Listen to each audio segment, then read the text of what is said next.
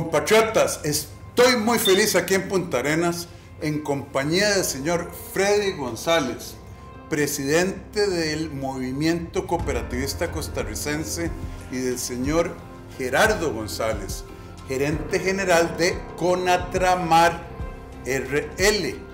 Hoy me invitaron a la inauguración del Ferry San Lucas 3, que está iniciando operaciones entre Punta Arenas y Playa Naranjo en la península de Nicoya. Esta ruta empezó en el año 1972 y estuvo a punto de cerrar, pero gracias al esfuerzo del nuevo liderazgo del Instituto Nacional de Fomento Cooperativo y del movimiento cooperativista en general, pudo mantenerse a flote, no se nos hundió. Y es que hoy no solo celebramos que Conatramar estrena este nuevo barco, sino que la ruta del crecimiento económico del país navega, vean qué lindo, en forma eficiente y estable, porque para generar empleo y desarrollo hay que tener visión, pero sobre todo ganas de hacer las cosas bien.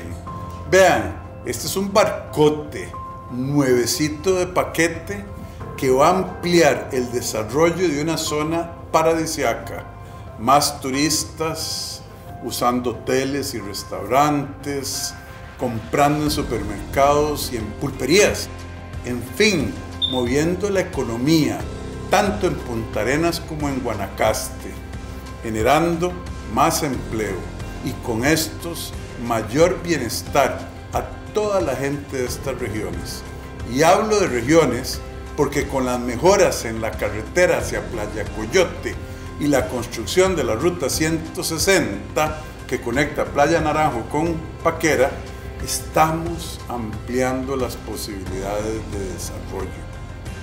Señor presidente, el movimiento cooperativo se siente muy honrado de estar acá porque hoy se demuestra que el sector privado y el cooperativismo cuenta con el apoyo del gobierno un gobierno responsable y comprometido que busca el bienestar para la mayoría de los costarricenses. El movimiento cooperativista representa el 21% de la población económicamente activa y un millón de personas que generan la economía nacional.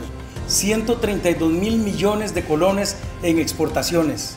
En el caso de Conatramar RL, es interesante explicar que su modelo ha sido exitoso y es una cooperativa autogestionaria donde los trabajadores son los dueños de la empresa.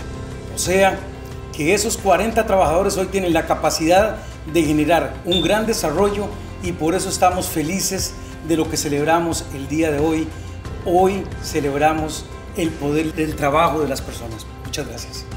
Don Gerardo, cuéntele a los ticos qué aporta este barco prácticamente nuevo que estamos estrenando hoy aquí. Presidente, muchas gracias. La inversión en este proyecto es de 6.5 millones de dólares con capacidad para 500 personas y 110 vehículos. Más de 400 toneladas de carga se van a mover en este ferry. Con este barco vamos a incrementar nuestra capacidad de servicio en un 25%, así que este año podríamos trasladar a más de 420 mil personas y más de 206 mil vehículos. Este ferry tendrá un verdadero impacto en toda la región pacífica sin alguna duda. Hará ocho viajes diarios en Punta Arenas y Playa Naranjo. Cuatro de ida, cuatro de vuelta. Cada viaje durará una hora y tendremos ambas embarcaciones en operación según la demanda y la temporada. Y muy importante, se mantendrá la misma tarifa, o sea, ahora sí es cierto que no hay excusa para no visitar estas zonas paradisíacas. Buenos días, mi nombre es Diego Elizondo, represento al Hotel La Punta en la zona de Punta Arenas. Agradecemos a las cooperativas, en este caso con Atramar, por el beneficio que nos está generando el traer un ferry nuevo que definitivamente para esta zona, más en la zona de Punta Arenas, es de mucha ayuda para todo lo que es la zona de comercio y el beneficio de la comunidad. Buenos días, mi nombre es Luis Madrigal, administrador de la Subita Pura Vida. Este, damos la bienvenida y también este, agradecer a Conatramar por el ferry nuevo, que nos va a generar este, más ingresos, eh, más turismo para la zona. Ahora sí, levemos anclas, pongámonos a trabajar juntos. Costarricenses, vamos por buen camino. el barco del desarrollo de nuestro país está navegando hacia un nuevo amanecer en el que el movimiento cooperativo tiene liderazgos nuevos y frescos y también el gobierno y nos volvimos a poner a trabajar juntos de nuevo. Como dicen aquí en el puerto, el barco va que va y así va a ser también en Costa Rica. Muchísimas gracias, que Dios nos bendiga. Muchas gracias, a todos. presidente. Muchas gracias, presidente. Muchas gracias. Costa Rica tiene un firme propósito, que la próxima generación crezca en un país mejor.